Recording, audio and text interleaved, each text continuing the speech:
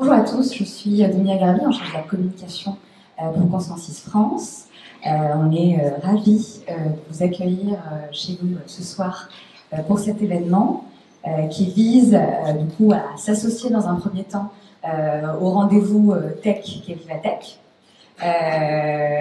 Et donc à réunir, fédérer un petit peu l'écosystème blockchain ou entrepreneurial autour d'un sujet bah, qui, nous tient tous à cœur, qui est l'adoption de la technologie blockchain. Euh, qui va être mis en perspective suivant plusieurs points. Euh, le premier, euh, d'un point de vue bah, crypto, l'adoption de la monnaie en soi, du coup qui sera présenté par CoinHouse chez nous. une deuxième mise en perspective, cette fois-ci sur le cadre réglementaire et donc comment, quand on lance un projet, blockchain, on vient, quelles sont les meilleures clés pour s'inscrire euh, dans, ce, dans ce cadre alimentaire. Euh, le, troisième, euh, le troisième moment de, cette, de, cette, soirée sera dédié à l'adoption, cette fois-ci corporate, avec consensus. et enfin, on parlera de la communauté développeur, qui est évidemment très chère à, nos cœurs à tous, et, recherche. donc l'idée, c'est d'avoir vraiment une overview assez globale de, de l'ensemble de ces points, euh, et donc, on, a pris le parti, euh, ce sont des sujets, si vous, êtes déjà dans, la communauté blockchain que vous connaissez très bien, mais l'idée c'était d'avoir un peu une big picture pour proposer, euh, notamment aux visiteurs de Vivatech, de, s'associer et de nous rejoindre pour avoir en une soirée tout l'ensemble de cette, l'ensemble de cette overview. Donc merci beaucoup, merci beaucoup à vous tous d'être, d'être venus. de, notre côté, avant de, du coup de laisser parler euh, les, premiers euh, chez Consensus. Est-ce que certains ne sont pas forcément familiers avec Consensus? Très bien. Euh. Consensus a pour, mission, vocation, ambition deux, grands éléments. Le premier, devenir une architecture de référence pour les projets blockchain via la création de produits euh, initialement, euh, enfin, originellement du coup euh, lié au Startup Studio de Consensus qui est né du coup il y a 4 ans à Brooklyn. donc aujourd'hui, jusqu'alors, qui a incubé, développé plus de 50 projets. et puis à côté de cela, l'accompagnement des entreprises et des gouvernements dans l'adoption de la technologie blockchain. Donc Consensus aujourd'hui en France travaille sur trois, trois produits, enfin on a créé trois produits ici en interne. Euh, on, est aussi euh, un bridge pour l'ensemble des produits euh, de consensus. et une, quinzaine de projets corporate et gouvernementaux. donc si vous avez plus de questions pour ceux qui ne connaissent pas les projets, on pourra en discuter pendant le cocktail tout à l'heure. Donc encore une fois, merci et je vais laisser du coup la première, la première de parole avec David de House.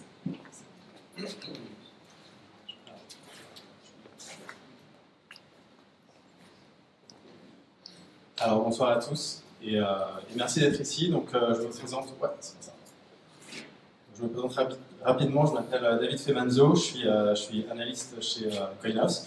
Et aujourd'hui, on va parler un peu de l'état des lieux de l'adoption des réseaux blockchain publics et donc des, des, crypto-monnaies en abordant trois, trois aspects. Le premier, ça va être l'adoption des réseaux blockchain, principalement Bitcoin et Ethereum en regardant un peu les, chiffres qu'on a, aujourd'hui. Ensuite, on va regarder un peu ce qui se passe du côté des utilisateurs, euh, notamment euh, qui achète de la crypto-monnaie aujourd'hui, euh, et aussi où se situent les entreprises de la crypto-monnaie, dans quel pays ils se situent, où est-ce qu'on en est, nous, notamment au niveau de la France.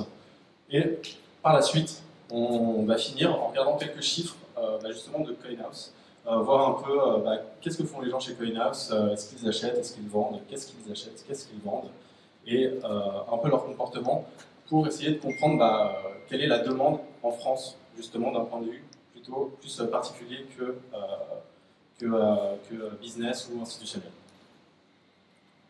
Pour commencer, une rapide présentation de CoinHouse. Donc CoinHouse est une entreprise qui a eu le jour en 2014 sous le nom de la Maison du Bitcoin. Vous nous connaissez peut-être sous ce nom-là. Euh, plus que sous le nouveau nom de Coinhouse qu'on a adopté euh, en 2017. C'est une entreprise qui euh, repose sur trois piliers. Le premier, c'est l'apprentissage et l'éducation. C'est-à-dire qu'on a un lieu physique, donc au 35 rue du Cap, pas très loin d'ici, où les gens peuvent venir nous voir, nous rendre visite et en apprendre plus sur les crypto-monnaies, que ce soit sur Bitcoin ou sur tous les autres altcoins qui peuvent exister.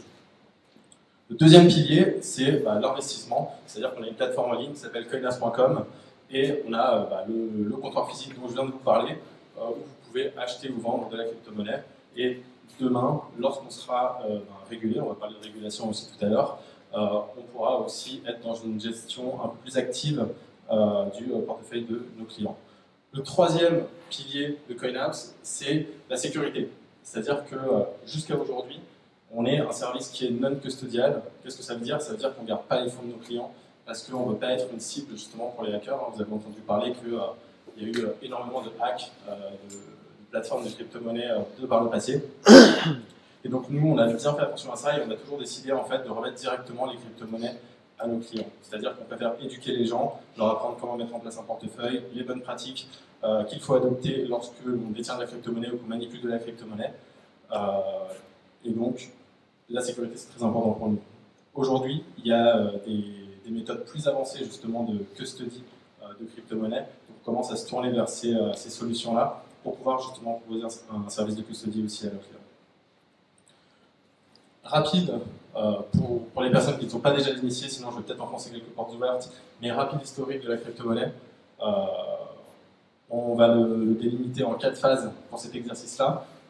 De 2019 à 2014, Bitcoin, c'est très peu accessible. C'est vraiment assez compliqué euh, d'utilisation. C'est-à-dire que moi, la première fois que j'ai entendu parler de Bitcoin, c'était en 2012. Ben, je suis, vite, parti en courant. C'est-à-dire que je ne comprenais pas trop euh, ce que c'était, ce que ça, comment ça marchait, euh, comment on achète. Je ne comprenais pas trop le système. Il n'y avait pas trop, trop d'endroits en fait où trouver de la bonne information. il n'y avait pas d'endroit comme CoinHouse où je pouvais aller justement m'informer sur, sur, sur, comment, comment cet écosystème fonctionnait. Et donc, c'était pas facile. Les images qui circulaient à l'époque, c'était Bitcoin, c'est la monnaie du dark web. Euh, voilà, c'était pas très attirant, donc très peu accessible. Au final, les personnes qui sont rentrées euh, dans les crypto-monnaies à cette époque-là, eh ben, elles le voulaient vraiment, il fallait vraiment le vouloir, et euh, il fallait donner son temps pour essayer de comprendre comment tout cela fonctionnait. Deuxième phase, on va l'appeler la phase des altcoins. En fait, des altcoins, c'est tout ce qui n'est pas Bitcoin. Donc, il y en a depuis les années 2010-2011, mais au début c'était simplement des pâles copies de Bitcoin qui essayaient de changer euh, quelques paramétrages ici et là pour euh, proposer quelque chose d'un petit peu différent. Mais en 2014, on voit l'émergence euh, d'altcoins assez intéressantes, qui ont une vision un petit peu différente et qui cherchent à créer des réseaux blockchain qui vont apporter une valeur un peu différente par rapport à ce que Bitcoin apporte déjà. Je pense par exemple à Ethereum, qui va, qui va permettre d'implémenter en fait du, code informatique sur un, sur un réseau blockchain et ainsi qui va permettre l'émergence de ce qu'on appelle aujourd'hui les applications euh, décentralisées. C'est-à-dire qu'on va pouvoir implémenter des logiciels assez complexes au final et assez avancés sur une blockchain. Ça, ça a donné naissance un peu à, euh, on va dire, la surmédiatisation de la, crypto, crypto-monnaie en 2017, notamment avec euh, l'émergence des ICO, qui sont ces levées de fonds en crypto-monnaie, des gens qui émettaient des tokens, principalement sur Ethereum, euh, afin de lever des fonds et parfois proposer un service intéressant ou parfois partir avec l'argent de tout le monde. Il y a eu un effet boule de neige au niveau médiatique, ça a créé donc la bulle aussi de 2017 qu'on a, qu'on a connue. Mais surtout, ça a mis en avant les crypto-monnaies et ça fait que beaucoup d'acteurs ont commencé à regarder cet écosystème de beaucoup plus près et ont commencé à s'y intéresser. En 2018 et en 2019, on, voit justement que euh, la crypto-monnaie s'est sortie du garage. On voit que euh, les gros acteurs sont là, ils cherchent à s'y intéresser. Nous, par exemple, on a une demande croissante euh, des formations sur les crypto-monnaies pour, parce que les gens cherchent à comprendre comment ça fonctionne, quel impact ça aura dans, dans, notre vie de tous les jours demain et quel impact ça peut avoir euh, dans euh, les produits euh, financiers notamment de demain. Donc, tout à l'heure, je pense qu'on vous parlera un petit peu de la régulation. Aujourd'hui, j'ai aussi aussi envie de dire, et je pense qu'une bonne partie d'entre vous ici le savent déjà, qu'il y a aussi toute une industrie financière des cryptoactifs qui euh, se développe énormément. Aujourd'hui, sur un réseau blockchain, je suis capable de euh, prendre un crédit. Je suis capable de prendre mes crypto-monnaies, les mettre en collatéral dans ce qu'on appelle un smart contract et me générer une dette de cette manière-là. Cet argent-là, je suis aussi capable de le prendre et de le prêter en ligne sans passer par un tiers de confiance et de générer un intérêt de cette manière-là. Donc on parle de finances décentralisées. On parle aussi de tokenisation de l'économie, c'est-à-dire prendre des titres financiers, des actifs traditionnels, et en créer une représentation numérique sur un réseau blockchain. Quel est l'intérêt? Eh ben, Pour des marchés qui sont par exemple peu liquides, je pense par exemple à l'immobilier, eh ben, numériser des actifs, ça peut permettre d'apporter une certaine liquidité, c'est-à-dire euh, pouvoir vendre bah, des fractions de tokens 24 euh, heures sur 24, 7 jours sur 7, sans, euh, sans friction. La vision, à long terme, qu'est-ce que c'est? Ce sont des réseaux à forte valeur ajoutée qui s'affinent. À forte valeur ajoutée parce que, parce que ces réseaux blockchain apportent une plus-value qui n'existe pas ailleurs et vont apporter des services qui ne peuvent pas être créés ailleurs, qui s'affinent parce qu'ils s'améliorent constamment, puisqu'il y a des gens qui travaillent dessus et qui, travaillent à l'amélioration de ces protocoles, et donc, naturellement, une adoption euh, progressive au fil du temps. Donc, quelques chiffres. Ici, vous avez quelques chiffres sur, euh, sur euh, l'évolution de, l'utilisation de Bitcoin au fil des années, donc depuis, depuis, depuis janvier 2009 lorsque lorsque le réseau a été lancé. Ce que l'on voit, donc en rouge vous avez les adresses actives, euh, le nombre de transactions par jour en bleu et les volumes en USD journaliers en jaune. Ce qu'on voit surtout, c'est une adoption progressive. D'accord? Il y a eu effectivement une petite bulle, on va dire, de l'utilisation en 2017, euh, qui s'est corrigé très rapidement début 2018. Et ensuite, on voit que malgré le bear market, l'usage et l'utilisation euh, de Bitcoin, le nombre de transactions Bitcoin a continué à, évoluer euh, petit à petit. Donc, malheureusement, je n'ai pas eu le temps de, compléter les chiffres aujourd'hui, donc là, ça s'arrête au 6, au 6 avril 2019. Mais en fait, aujourd'hui et le mois dernier, euh, on a déjà retrouvé un pic du nombre de transactions euh, sur Bitcoin par rapport euh, à 2017. On a atteint les mêmes niveaux. Et ce qui est super intéressant, c'est que les frais de transaction sur Bitcoin sont largement moindres que quand on était au pic en 2017. Et ça, c'est aussi parce que les protocoles évoluent, et notamment, on a créé de, nouveaux formats d'adresses qui permettent, qui prennent moins de place en fait dans les, dans les blocs Bitcoin, et donc ça coûte un peu moins cher. Sur Ethereum, on peut voir que 2017, c'était vraiment l'année de l'explosion. Donc euh, c'est là où ça a commencé à être surmédiatisé, c'est là où il a commencé à avoir une utilisation euh, assez massive. Donc vous voyez ici euh, le nombre des transactions et la manière dont elles évoluent. Vous voyez le nombre aussi d'adresses Ethereum uniques qui sont enregistrées, donc de plus en plus, ça, n'arrête pas d'augmenter. Et à droite, excusez-moi, j'ai pas mis la légende, vous voyez le niveau de à quel point les blocs Ethereum sont remplis. Donc ce qui est intéressant, c'est qu'on voit que en fait, depuis 2017-2018, on a des blocs qui sont assez pleins. Et euh, pour un réseau blockchain, euh, c'est quelque chose dont on peut se vanter parce qu'il n'y en a pas énormément qui peuvent euh, jouir de cette utilisation-là. En fait, il n'y a que Bitcoin et Ethereum pour le moment qui, arrivent à, ce niveau d'utilisation. Il y a une donnée que je trouve assez intéressante, c'est le nombre de contributeurs par mois euh, donc là, en fait, on a, agrégé donc, euh, le nombre de contributeurs sur euh, les, les, crypto-monnaies du top 10 sur CoinMarketCap. Et ce qu'on voit encore une fois, c'est que ces deux réseaux-là, Ethereum et Bitcoin, captent la majorité de l'intérêt pour les gens qui développent, ces, ces, qui développent ces protocoles. En 2017-2018, et notamment en début 2018, on voit qu'il y avait une sorte d'intérêt pour euh, les altcoins, d'accord, mais qui s'est assez vite estompé au final. C'est-à-dire que euh, si on regarde par exemple bah, justement euh, EOS ou Tron, il y avait quand même quelques contributeurs début 2018, mais juste après, enfin une fois que une fois que le bear market est entré, les gens sont vite partis. Et là où la valeur intellectuelle, on va dire, a été captée, ça reste sur Bitcoin et Ethereum, avec Bitcoin et le Lightning Network qui est représenté en jaune, en jaune en bas. Maintenant, je voulais faire un petit retour avec vous sur euh, une étude de l'université de Cambridge qui a été euh, menée euh, notamment par Apolline Blandin sur justement qui sont les utilisateurs des crypto-monnaies et c'est une étude qui a été menée auprès des prestataires de services. Prestataires de services dans les crypto-monnaies et les, les entreprises qui ont des activités de minage. Ici, on va regarder que des chiffres qui concernent les entreprises qui euh, sont des, prestataires de services et pas les activités de minage. Donc, ils ont eu 184 personnes qui ont répondu à euh, leurs enquêtes et répondu à leurs questions. Ce que l'on voit, c'est que depuis 2016, il y a un nombre croissant d'utilisateurs. D'accord? Si on regarde de 2017 à 2018, euh, le nombre de comptes enregistrés chez ces prestataires de services passe de 85 millions à 139 millions. D'accord? Et ça, c'est malgré le bear market qu'on a pu connaître. Ce qu'on voit aussi et qui est intéressant, c'est que en rouge ici, en fait, vous avez le nombre euh, d'utilisateurs identifiés, alors qu'en bleu, ce sont euh, l'intégralité des utilisateurs, même s'ils ne sont pas identifiés.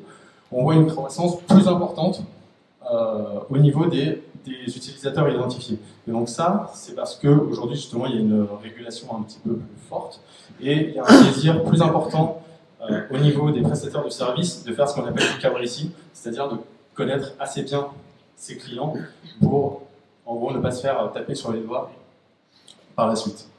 Je pense qu'il y a peut-être quelques personnes qui vont parler de KYC ici par la. Ce qu'on voit aussi, c'est que les utilisateurs de crypto-monnaies sont, principalement des particuliers. D'accord? Avec la petite exception, donc en fait l'étude a été portée au niveau de différents prestataires de services, que ce soit des exchanges, euh, des services de custody ou euh, des, euh, fournisseurs de moyens de paiement, ou sinon des entreprises qui, jouent sur, sur, plusieurs, sur plusieurs tableaux. mis à part les services de custody only qui intéressent forcément un peu plus les gros portefeuilles et peut-être les portefeuilles institutionnels, sur toutes les autres gammes de services, c'est largement, largement euh, le particulier qui est majoritaire euh, en tant qu'utilisateur. Où sont situés ces prestataires de services? Eh bien, on voit qu'il y a une prédominance de la Chine et des États-Unis, d'accord? Et du Royaume-Uni aussi, euh, d'ailleurs. Ensuite, suivi de près, on va voir le Canada, l'Inde, puis l'Australie, la Russie, la France, et on voit que les, régions du monde qui sont un peu plus euh, un peu plus en retard, on va dire, quant à l'adoption justement de, euh, la crypto, euh, c'est particulièrement l'Amérique, l'Amérique du Sud, l'Afrique et le, Moyen-Orient. Pour faire un focus un peu plus important sur la France, on va essayer d'aborder le prisme de CoinHealth. Donc je suis allé chercher quelques chiffres pour vous que je, que je vous partager. Donc ça, c'est la tendance de nos clients. donc c'est sur les deux dernières années. Donc on part de mai 2017 et on arrive euh, aujourd'hui. Et on a le volume euh, de gens qui achètent et de gens qui vendent. Donc ce qu'on voit, c'est que les gens sont majoritairement, majoritairement à l'achat. on, est, on aussi en général entre 80% de gens qui achètent et 20% de gens qui vendent chez nous. Avec ce petit pic en, août, euh, en août 2018 euh, qu'on peut observer et qui s'explique par euh, plusieurs, euh, transactions assez importantes. Qu'est-ce que les gens achètent? Eh bien, principalement du Bitcoin, avec l'Ether qui, qui arrive en, deuxième position, et on voit un petit peu, un un petit peu sur, le haut, mais en quantité relativement faible. Donc, les gens sont plus attirés quand même par des valeurs assez sûres au sein de l'écosystème, euh, qui sont euh, Bitcoin et Ethereum. Euh, avant juin 2018, le Ripple était comptabilisé dans le, dans le compte comme un altcoin, donc il est représenté par le vert aussi avant ça. Enfin, ce, graphique-là montre qu'il y a un réel désir d'accompagnement lorsqu'on arrive dans ce monde-là et qu'on s'intéresse aux crypto-monnaies et qu'on souhaite en acquérir. C'est-à-dire qu'il y a beaucoup de gens qui ne sont pas spécialement à l'aise avec le fait de tout faire sur Internet et qui ont besoin de quelqu'un euh, qui leur tient la main. Pour preuve, on a ces chiffres-là. Au final, 50, quasiment 50% de, euh, du volume de vente que l'on fait, ça passe par notre comptoir physique au, 35 rue du Car. D'accord? Et l'autre moitié en ligne. Ça s'explique aussi par euh, les personnes qui souhaitent faire en fait, des grosses transactions. C'est-à-dire que quand on a des personnes qui souhaitent investir pour 10 000, 50 000, 100 000 ou plus d'euros, Bien entendu, ils sont beaucoup plus enclins à investir euh, une fois qu'ils nous ont rencontrés, qu'ils ont parlé avec nous, euh, qu'on les a mis en confiance, qu'on leur a donné les bonnes pratiques, que, euh, que, de se lancer tout seul en ligne. Donc c'est un désir d'accompagnement. Pour finir, encore une, un graphique qui a été pris, par, qui a été pris à l'étude de, l'Université de Cambridge nous invite un peu à zoom out, parce que c'est vrai que euh, quand on est dedans, on a tendance un peu à toujours avoir la tête dans les cours. Euh, ça bouge, ça bouge beaucoup, ça bouge beaucoup. Et au final, c'est bien parfois de prendre un petit peu de distance, de voir que euh, c'est un marché effectivement extrêmement volatile, mais qu'il y a une raison derrière ça. C'est tout simplement que c'est un marché qui est tout petit. Aujourd'hui, c'est 250 milliards de dollars, la capitalisation de marché des, des crypto-monnaies. C'est rien quand on compare à, d'autres actifs, en fait.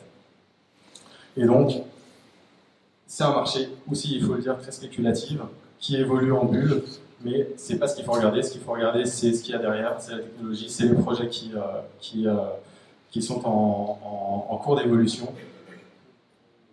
Et donc, euh,